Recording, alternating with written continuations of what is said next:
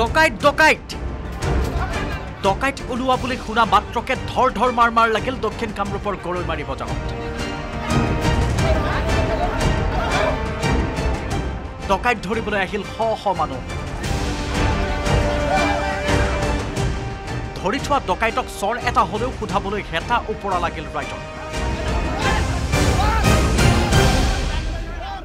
গেলা গৰমত ঘামি জামি জুৰুলি জুপুৰি অৱস্থা হ'ল ডকাইতৰ লগতে বজাৰত থকা লোকসকলৰ সোমবাৰৰ সন্ধিয়াৰ দৃশ্য এয়া।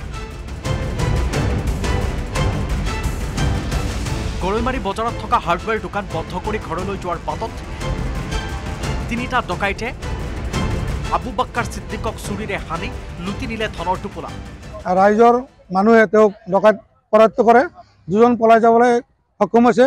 এজনক ৰাইজে ধৰিছে। ধন লুটি ঘটনাস্থলীৰ পৰা দুটা ডকাইত পলাল যদিও। এটাক হাতেলোতে ধৰিলে ৰাইজে। তাৰ পাছতে হোৱা দোৱা লাগিল গৰৈমাৰী বজাৰত। একাংশই ঔকিল সোধালে আবু বাক্কাৰ ছিদ্দিকিক চুৰিৰে সনা ডকাইতটো। আন একাংশই পাঁচ ল'লে ধনৰ টোপোলালৈ পলোৱা আন দুটা ডকাইতৰ।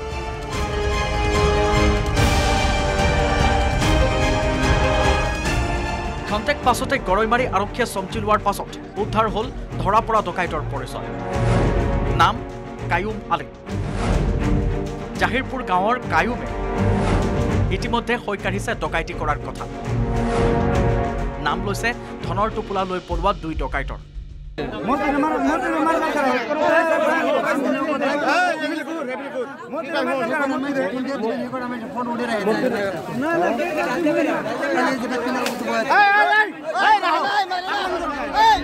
কায়ুম আলীৰ ভাষ্যৰ আধাৰত পলাতক ডকাইতক বিচাৰি আৰক্ষীয়ে অভিযান চলোৱাৰ সময়ত চিকিৎসাধীন হৈ আছে ডকাইতৰ চুৰিকাঘাটৰ বলি হোৱা আবু বাক্কাৰ ছিদ্দিক সোণতলীৰ পৰা Abul Kalam Azad news eighteen Assam north east.